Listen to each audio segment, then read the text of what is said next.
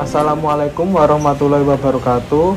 Kami dari kelompok 7 kelas 11 MIPA 8 yang beranggotakan. Yang pertama Alia Ramdhani nomor absen 2 yang kedua Dita Puan Kusuma Wardani nomor absen 11 yang ketiga Ingkat Cahyo Aditomo nomor absen 12 yang keempat Muhammad Firdaus nomor absen 22 dan yang terakhir Najwa Nisrina nomor absen 26 Kami, perwakilan dari kelompok 7 Seni Budaya SMA 2 Kota Kediri, akan mewawancarai salah satu seniman pembuat barong. Yuk, kita langsung wawancara.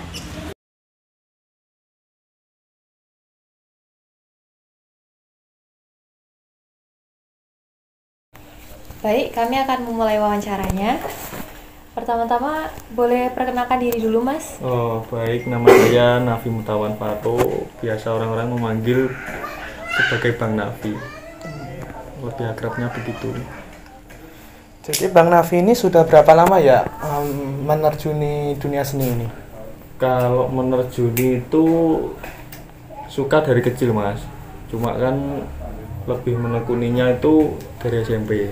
Dari SMP. Oh, SMP udah mulai bikin-bikin tapi dengan alat seadanya. Nah, SMA itu kan mulai ada uang saku yang disisihkan buat beli alat dan bahan, kemudian lebih ditekuni lagi. Seperti itu. Kalau boleh tahu, Mas, eh, Masnya ini seniman ini belajarnya secara otodidak atau mengikuti kursus? Kalau seperti ini kebanyakan untuk didak, Mbak. Tapi kan kalau di zaman sekarang sudah ada YouTube, Mbak. Oh iya. Dan browsing-browsing itu pun lebih mudah, tutorial juga banyak. Tapi kalau saya pribadi dulu itu belajarnya ya otodidak. Belajar dari kesalahan yang banyak itu seperti itu. Kalau seni yang Mas buat ini biasanya dikonsumsi pribadi atau dibuat diperjualbelikan seperti itu? tergantung mas kebanyakan juga buat pribadi soalnya kan kalau seni kayak gini ada kelas-kelasnya tuh mas jadi ada yang spesial ada yang untuk dijual ada yang dijual ke luar pulau dan luar negeri itu ada kelasnya sendiri-sendiri.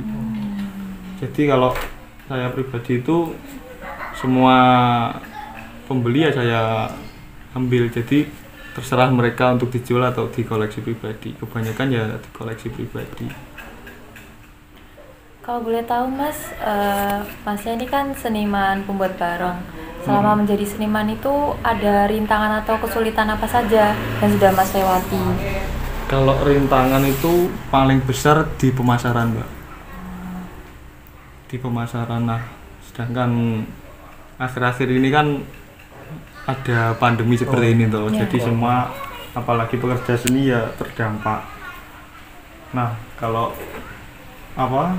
Barang-barang kayak gini kan juga biasanya orang-orang itu buat pementasan, sedangkan pementasan kan udah jarang kalau di pandemi seperti ini jadi agak menurun seperti itu. Kalau untuk pengerjaan biasanya itu kalau hal-hal yang sulit dihadapi itu seperti eh, request-requestan dari teman-teman. Jadi kalau sekarang itu jamang-jamang ini kan biasanya nyebutnya jamang. Nah jamang barongan ini sudah nganu tiap orang itu punya gambar tersendiri seperti itu. Jadi tantangannya di situ Kalau buat jamang kayak gini tuh butuh waktu berapa lama ya Mas?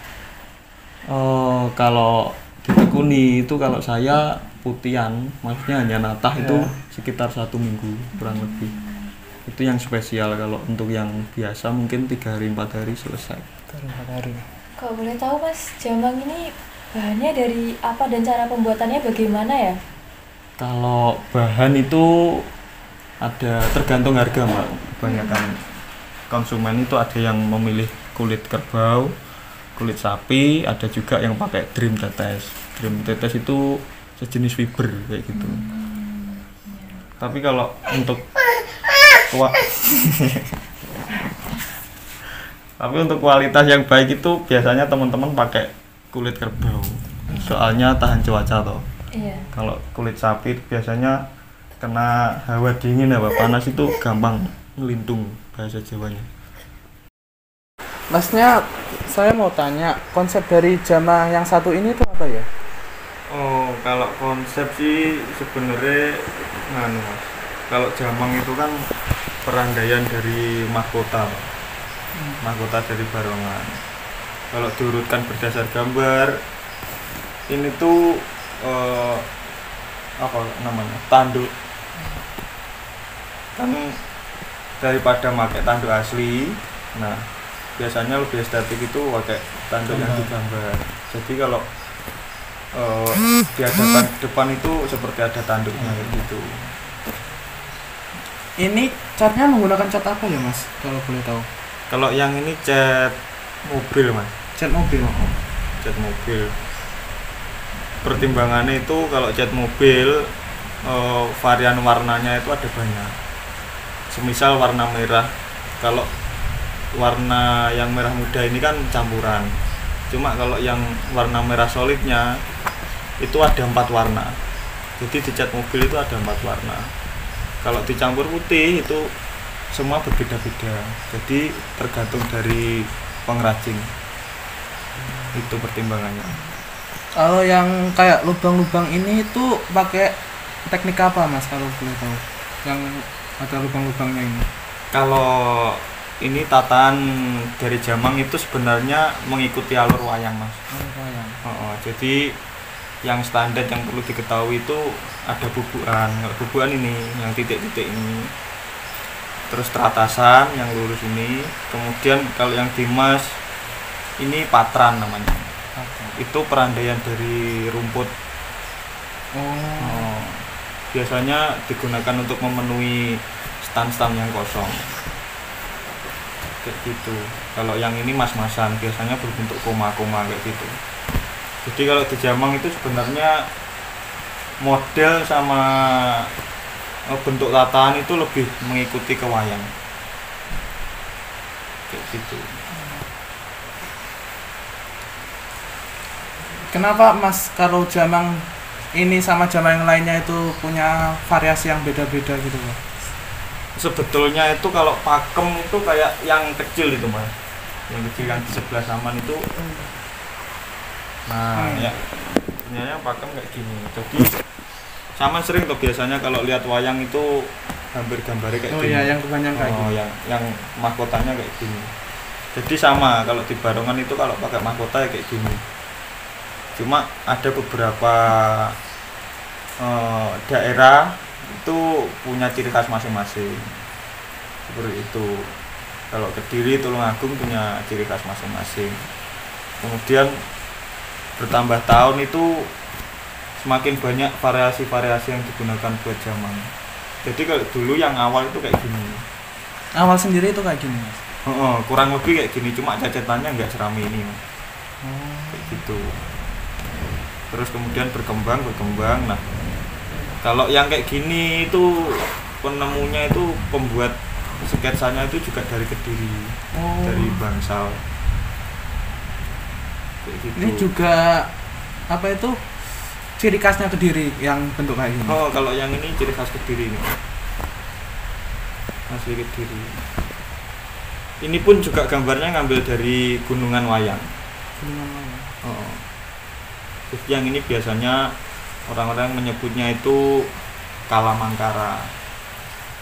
Itu eh, definisi gambarnya itu buat mengusir hal-hal yang buruk seperti itu.